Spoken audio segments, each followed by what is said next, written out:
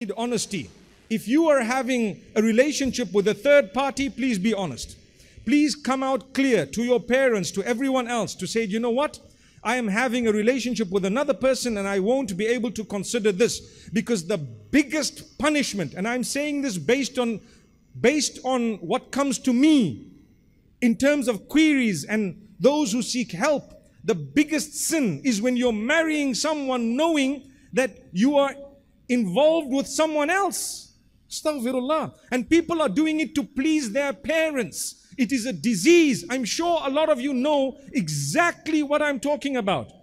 So, my beloved parents, don't push your children to the degree that you've, you've issued a death sentence to someone else's daughter or to someone's son when your daughter or son was involved with a third party and you blocked it, squashed it, and sometimes the way you dealt with it, they didn't even have the courage or the guts to let you know that there was something else going on. How many of us have heard of those whom out on their honeymoon, they're busy texting or sexting someone else? And that's supposed to be a honeymoon. It's a reality. When we talk about marriage and relationships, in this day and age, we have to raise these issues. Because if we don't, who is going to raise them?